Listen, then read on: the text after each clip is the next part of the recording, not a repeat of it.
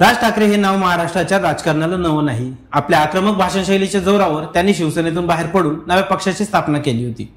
आणि पहिल्याच प्रयत्नात विधानसभेत त्यांनी यश देखील मिळवलं पण दोन हजार नऊच्या पहिल्या विधानसभा निवडणुकीत जिंकून आलेले राज ठाकरे यांचे ते तेरा आमदार नेमके आहेत तरी कोठे हा प्रश्न विचारला जातोय. त्याचा उत्तर शोधण्याचा हा प्रयत्न. नमस्कार मी प्रवीण सुरवसेन. लेट्सअप मराठीमध्ये आपलं स्वागत करतो. नुकतंच राज ठाकरे यांनी मनसेचा दरवर्षीप्रमाणे गुढीपाडवा मेळावा आयोजित केला होता.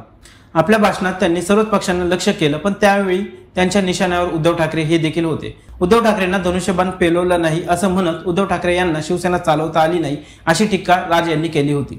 राज ठाकरेंनी उद्धव ठाकरे यांच्यावरती टीका केली पण त्याच वेळी सोशल मीडियावर एक प्रश्न उपस्थित केला गेला.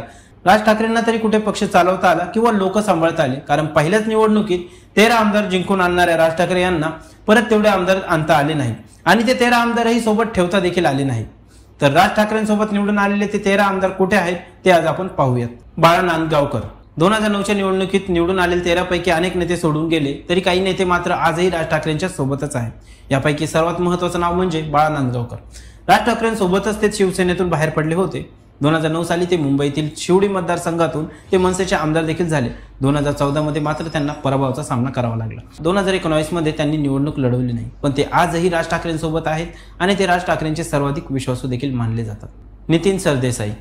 बाळानंदगावकर यांच्याप्रमाणेच नितीन सरदेसाई देखील राज ठाकरेंचे निष्ठावंत म्हणून ओळखले जातात. दोन हजार नऊ मधून ते मुंबईतील माहीममधून मनसेचे आमदार झाले. मात्र दोन हजार चौदाला पराभूत देखील झाले. पण ते आजही पक्षात आहे आणि मनसेचे सरचिटणीस म्हणून ते काम करत आहेत. प्रवीण दरेकर. आज महाराष्ट्र भाजपचे मोठे नेते आणि देवेंद्र फडणवीस यांचे विश्वासू म्हणून ओळखले जाणारे प्रवीण दरेकर मनसेच्या पहिल्या टप्प्यात मनसेचे आमदार देखील झाले होते. दोन हजार नऊ साली ते मनसेच्या तिकिटावर मागा ठाणे मतदारसंघातून आमदार म्हणून निवडून आले होते. दोन हजार चौदामध्येही ते मनसेच्या तिकिटावर निवडणूक लढले. मात्र या निवडणुकीत त्यांचा पराभव झाला. नंतर त्यांनी भाजपात प्रवेश केला. नंतर भाजपाने त्यांना विधान परिषदेवर देखील पाठवले. सध्या ते भाजपात आहेत. राम कदम. आज भाजपचा टीव्हीवरचा चेहरा म्हणून दिसणारे राम कदम एकेकाळी मनसेचा एक आक्रमक चेहरा होते. राम कदम यांनी दोन हजार नऊ साली मनसेच्या तिकिटावर घाटकोपर पश्चिम मतदारसंघातून निवडणूक लढवत भाजपच्या पूनम महाजन यांचा पराभव केला होता. नंतर दोन हजार चौदा साली मात्र ते भाजपमध्ये गेले.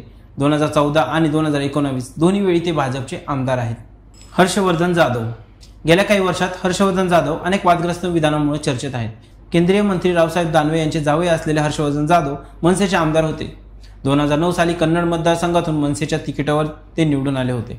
पुढे त्यांनी मनसेची साथ सोडत शिवसेनेत प्रवेश केला.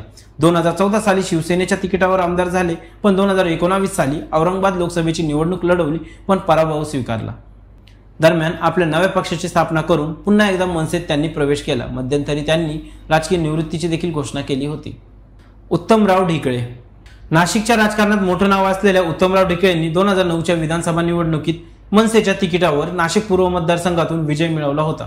त्यांनी भाजपच्या बाळासाहेब सानप यांना पराभूत केले होते. दोन हजार पंधरामध्ये ढिकळे यांचे निधन झाले. त्यांचे पुत्र राहुल ढिकळे सध्या याच मतदारसंघातून भाजपचे आमदार आहेत. वसंत गीते. एकेकाळी शिवसेनेत असलेले वसंत गीते हे राज ठाकरेंच्या पाठोपाठ मनसेत आले होते. दोन हजार नऊ साली नाशिक मध्य मतदारसंघातून विधानसभेची निवडणूक देखील त्यांनी लढवत ते आमदार झाले. पण पुढे दोन हजार चौदाच्या निवडणुकीत त्यांना भाजपच्या देवे आणि फरांदे यांच्याकडून पराभव देखील स्वीकारावा लागला. पुढे दोन हजार एकवीसमध्ये गीते यांनी पुन्हा शिवसेनेत प्रवेश केला. नितीन भोसले. एकेकाळी मुंबई पाठोपाठ मनसेचा बालेकिल्ला असलेल्या नाशिकमधील नितीन भोसलेंनी दोन हजार नऊ साली नाशिक पश्चिम विधानसभा मतदारसंघातून मनसेच्या तिकटावर विजय मिळवला. पण त्यानंतर दोन हजार चौदा आणि दोन हजार एकोणावीसमध्ये त्यांना सलग पराभवाचा सामना करावा लागला. तरी देखील नितीन भोसले सध्या मनसेतच आहेत. रमेश पाटील. एकेकाळी काँग्रेसमध्ये असलेल्या रमेश पाटील यांनी कल्याण ग्रामीण मतदारसंघातून मनसेच्या तिकिटावरती निवडणूक लढवत हा विजय मिळवला होता. दोन हजार नऊ साली मनसेचे आमदार असलेल्या पाटील यांनी दोन हजार चौदा साली पुन्हा मनसेच्या तिकिटावर निवडणूक लढवली पण त्यांचा पराभव झाला. त्यानंतर ते पुन्हा परत काँग्रेसमध्ये गेले. पण रमेश पाटील यांची ओळख म्हणजे सध्याच्या मनसेचे एकमेव आमदार असलेल्या राजू पाटील हे रमेश पाटील यांचे लहान भाऊ आहेत. प्रकाश भोईर. दोन हजार नऊ साली निवडून आलेल्या नावांपैकी एक आणखी एक नाव म्हणजे प्रकाश भोईर. दोन हजार नऊ साली ते कल्याण पश्चिम मतदारसंघातून मनसेच्या तिकिटावर विजयी झाले होते. त्यांनी शिवसेनेच्या राजेंद्र देवळकर यांना पराभूत केले होते. सध्या प्रकाश भोईर मनसेमध्येच आहेत.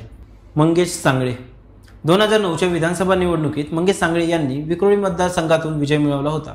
दोन हजार चौदामध्येही त्यांनी मनसेच्या तिकिटावर निवडणूक लढवली पण त्यांचा यामध्ये पराभव झाला. पुढे दोन हजार सतरामध्ये त्यांनी भाजपात प्रवेश केला आणि महानगरपालिका निवडणूक लढवली. मात्र त्यांना पराभवाचा सामना करावा लागला. शशीर शिंदे. एकेकाळी शिवसेनेमध्ये असलेले शशीर शिंदे राज ठाकरेंसोबत मनसेत आले. दोन हजार नऊ साली त्यांनी भांडूप मच्छी मतदारसंघातून निवडणूक लढवत विजय देखील मिळवला. दोन हजार चौदा साली त्यांनी पुन्हा मनसेच्या तिकिटावर निवडणूक लढवली पण त्यामध्ये त्यांचा पराभव झाला. दोन हजार अठरा साली ते पुन्हा शिवसेनेत गेले. रमेश वांजळे. गोल्डमॅन म्हणून ओळखल्या जाणाऱ्या रमेश वांजळेंनी दोन हजार नऊ साली पुण्यातील खडकवासला मतदारसंघातून मनसेच्या तिकिटावरती विजय मिळवला होता. दोन हजार अकरामध्ये त्यांचं दुर्दैवी निधन झालं. त्यावेळेच्या पोटनिवडणुकीत भाजपचा उमेदवार निवडून आला. पण रमेश वांजळे यांचं कुटुंब सध्या राष्ट्रवादीत आहे.